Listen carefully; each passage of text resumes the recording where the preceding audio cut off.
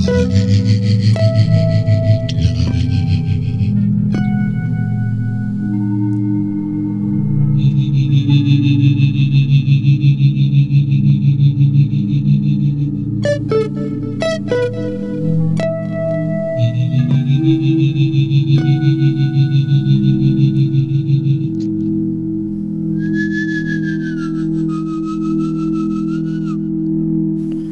December in the north.